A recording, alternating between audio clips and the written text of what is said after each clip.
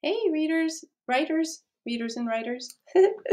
um, today we're going to be putting ourselves in somebody else's shoes. Have you ever heard that idiom before? Where you're supposed to try to think about what it's like to be looking through somebody else's eyes. So I'm going to tell you a little story. Recently, well, not recently because now we've been in this COVID thing for a while, but I'm remembering a while back, I had some people over to my house for dinner. And as we were sitting down at the dinner table, uh, one of my guests looked over and said, Oh my God, your window is cracked. And I was like, oh my goodness, it wasn't like huge.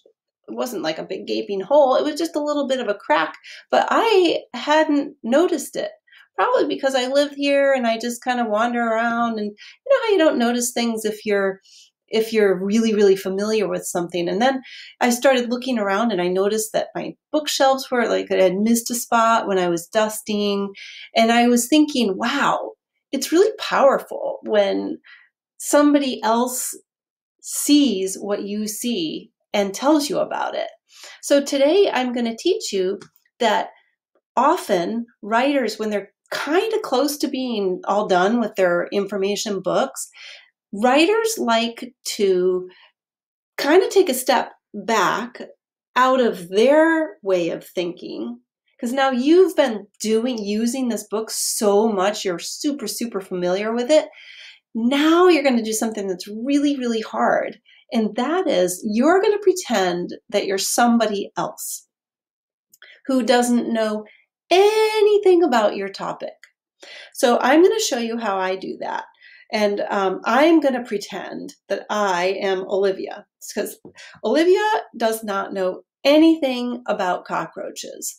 So if she were reading my book, she would have like it's all going to be new to her. So I'm going to be asking myself if Olivia was reading this, would this make sense? So let's give it a try.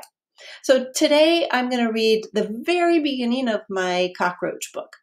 And I'm going to think to myself, I'm going to pretend I'm Olivia.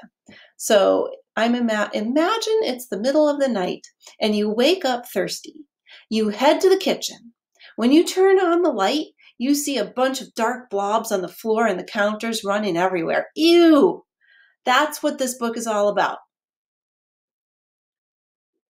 Hmm. You know, I don't even know what this book is all about. That's kind of exciting. I like it. But I don't even, Mom, what's this book about? Olivia would say, right? and now that I think about it, I'm looking and I'm realizing this is a book about cockroaches, and I don't even say the word cockroach in my first paragraph a single time. Can you believe that? So now I'm going to show you how I fixed it. So once I read this with like the lens of Olivia's eyes, and I realized that I hadn't put what I was writing about, I changed it. And so now it says all what I said before, but I added a sentence. I added this one. It says, Cockroaches have taken over your home, and unless you do something about it, they will be here to stay. Doesn't that sound better? I mean, really, it's way better. Now, my reader, Olivia, can read this first paragraph, that super, super powerful, important introduction, and know exactly what my book is about. She's going to know that it's about how to deal with cockroaches in your home. All right, so let's give it a try. This is unusual.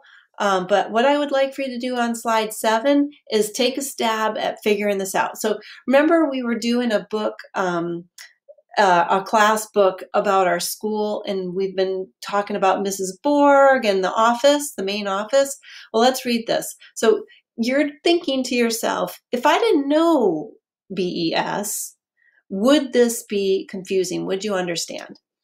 When you first come to our school, after the lobby, the first place you will stop is the main office. The main office is very important. It's where people who work for the school have desks.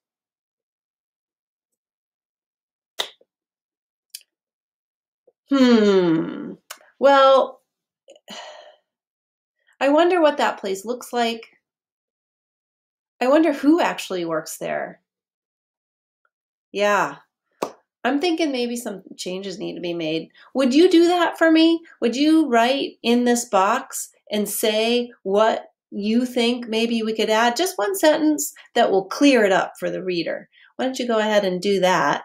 And then, so our writing needs to make sense, right? I mean, you guys have been working so hard on your information books, and wouldn't it be a big bummer if your reader is reading it and doesn't know what you're talking about? If they're going, what?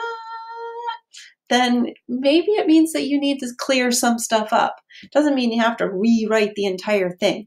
Just means maybe you need to clarify some things. So as you're working today, your job is to read your book, and really, really try to think about what it would be like if your reader didn't know anything. Would what you were writing make sense? And that's your assignment for today. So try to fix up confusing spots.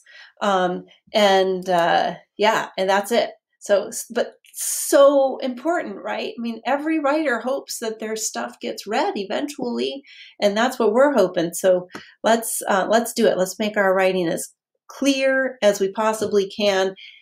And as you're reading, please make sure that you are capitalizing the first word in the sentence. You're punctuating the end of the sentence. Notice if you should have changed from one paragraph to another. Now's the time, guys. And capitalize the word I. Oh, don't let me see that again. All right, you guys, have fun. I'm really enjoying your books.